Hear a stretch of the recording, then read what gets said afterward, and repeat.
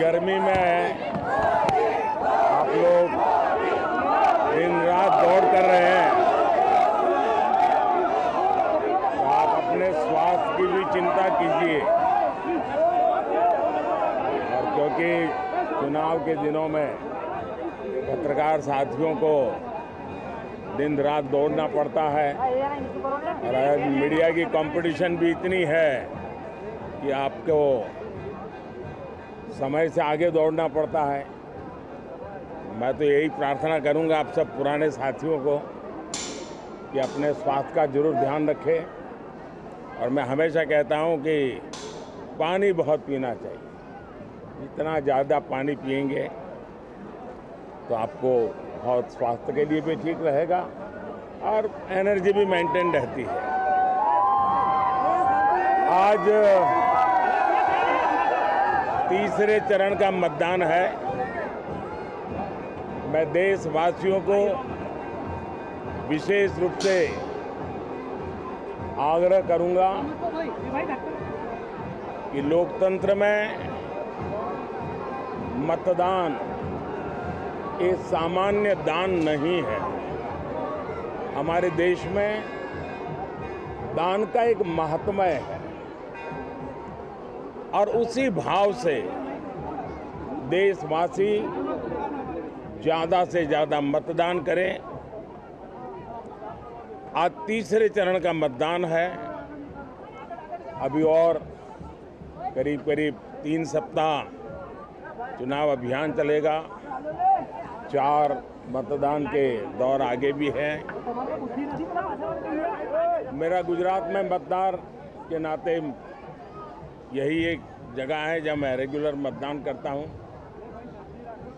और अमित भाई यहाँ से भारतीय जनता पार्टी के उम्मीदवार के रूप में चुनाव लड़ रहे हैं।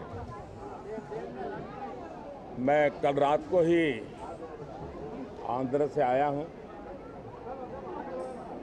अभी गुजरात में हूँ। मध्य प्रदेश जाना है, महाराष्ट्र जाना है, फिर तेलंगाना जाना है। तो इतने कम समय में मैं ज़्यादा बात तो नहीं कर पाऊँगा, लेकिन मैं गुजरात के मतदाताओं को भी और देश के मतदाताओं का भी हृदय से आभार व्यक्त करता हूँ, जो उत्साह उमंग से मतदान में हिस्सा लेते हैं। आज ये गुजरात देश के मतदाताओं का भी हृदय से आभार व्यक्त करता हूँ। जो उत्साह उमंग से मतदान में हिस्सा लेते हैं आज ये ગુજરાતમાં લોકતંત્રનો ઉત્સવ છે આનંદની વાત એ છે કે પહેલા બે ચરણમાં જે મતદાન થયું છે હું ઇલેક્શન કમિશનને પણ અભિનંદન આપીશ દેશના સુરક્ષા બલોને પણ અભિનંદન આપીશ અને ચૂંટણીની વ્યવસ્થામાં જોડાયેલા વહીવટી અધિકારીઓને પણ અભિનંદન આપીશ કે પહેલા બે ચરણમાં ક્યાંક નહિવત હિંસાની ઘટના ધ્યાનમાં આવી છે. અધરવાઇઝ આપણને ખબર છે કે પહેલા ચૂંટણીમાં હિંસાનો દોર ચાલતો હતો. આ વખતે ઇલેક્શન કમિશનની અનેક વ્યવસ્થાઓ. હું ઇલેક્શન કમિશનનું એટલા માટે પણ અભિનંદન કરું છું કે એમણે પૂરું ઇલેક્શન કેમ્પેન વોટર ફ્રેન્ડલી મેનેજમેન્ટમાં એમણે ધ્યાન કેન્દ્રિત કર્યું છે. ઇવન આજે પણ મેં એમની એક ઘડિયાળ જોઈ. જે ઘડિયાળ મતદારને લગાતાર એલર્ટ કરે છે કે તમારું મતદાન થયું અને બધાના મોબાઈલ પર એ ઘડિયાળ અવેલેબલ છે. તો ઇલેક્શન કમિશને પણ ટેકનોલોજીનો ભરપૂર ઉપયોગ કર્યો છે.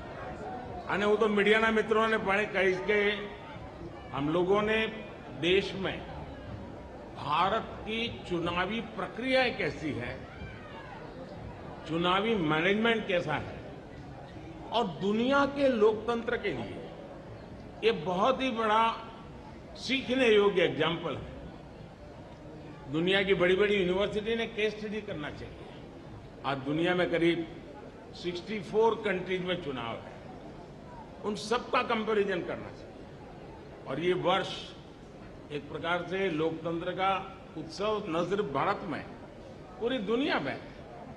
और भारत ने दुनिया में जो भी अच्छी चीज़ें हैं, वो चुनावी व्यवस्था में विकसित की है। और मैं मानता हूँ कि इलेक्शन कमीशन इसके लिए बहुत बहुत अभिनंदन का अधिकारी है।